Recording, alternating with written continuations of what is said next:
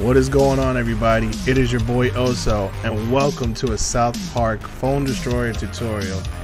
South Park just celebrated Randy's birthday by throwing a weekend event in the Phone Destroyer universe. And Randy is such a strong card in all themes, but in this video we're going to rank them from worst to best. Now if you like these type of videos, make sure to hit the like button down below.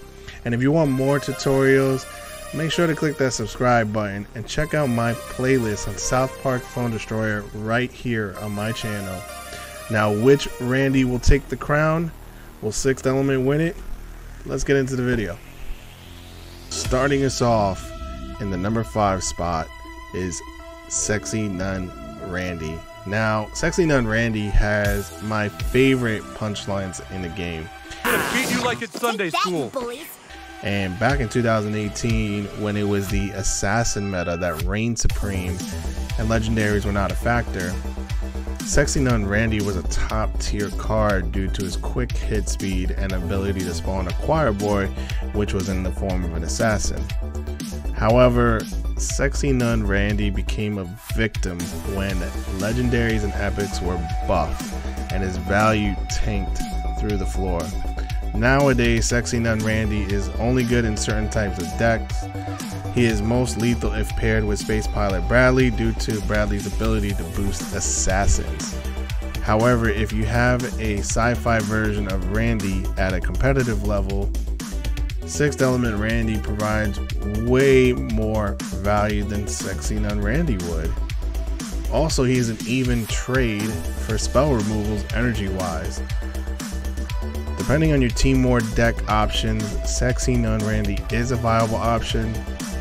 Other than that, it's tough to rank Sexy Nun Randy any higher than number 5. Now, let's get into the number 4 Randy. Amazingly Randy takes our number 4 spot. Now, Amazingly Randy is different from the other Randy because he's a ranged unit instead of a fighter. Now, similar to the show, he shoots from below the belt and springs two fighter cocks onto the field. He has a great damage output and great range for an archer. He is also one less energy cost than all the other Randys in the game at 4 cost. However, compared to the other Randys, his health is significantly lower, and you have to protect Amazingly Randy because of how quick he can be taken out. Now, he's good with the new card Nymph Nicole and Elven King Bradley kind of decks. And as a ranged unit, he is severely limited to more than just a support unit. Coming in at the number three spot is Pocahontas Randy from the adventure theme. He is a five cost epic fighter similar to Sexy Nun Randy. However, the difference between the two is Pocahontas Randy can spawn an Indian Kid, which is a fighter, versus the assassin that Sexy Nun Randy does. What makes Pocahontas Randy really strong compared to his Mystic counterpart is his great attack speed and damage output. He is definitely the unit that's going to get the first hit, and his DPS is definitely high. He is a great starter epic if you are interested in the adventure theme. But the downside to Pocahontas Randy, similar to Sexy Nun Randy, is that he is an even trade for spell removers. In addition, his wind up animation to spawn an Indian kid is actually really slow to the point where it might not even take place. Now, Pocahontas Randy is great, but he is not better than the last two Randys on this list, so stay tuned for the next one. Now, the second best Randy is the legendary version in the sci fi theme Sixth Element Randy. Now, what makes Sixth Element Randy great is that his walk speed is really slow. Now, this is a good thing because you want him to help build your push towards the midline and which makes him a great starter card because now you can kind of surround him with great units to help build that push.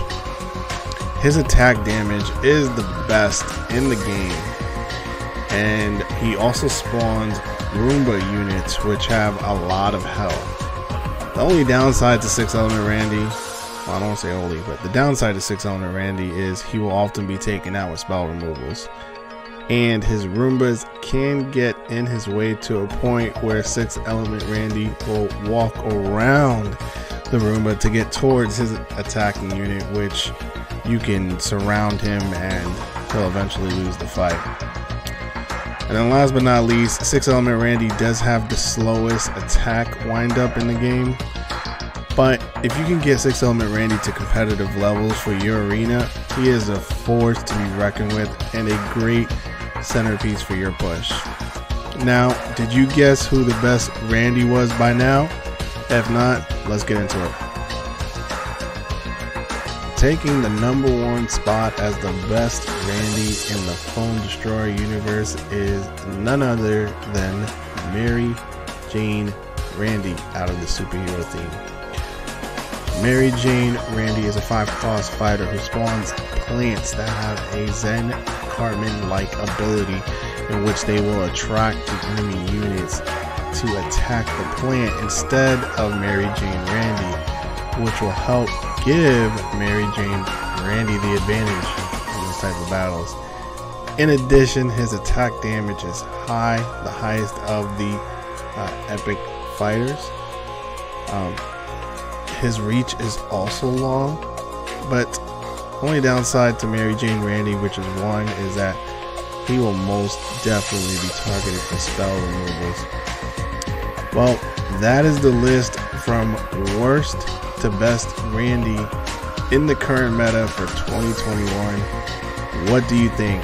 Do you agree? Disagree? Let me know in the comments down below. My name is Oso. Thank you for watching. If you found this video helpful, make sure to subscribe hit the like button, and check out my other South Park Phone Destroyer videos, including Team War videos with Chefs Elites. Hopefully, I'll see you in my next stream right here on YouTube. But until then, I'll see you out in the streets, new kid. Take care.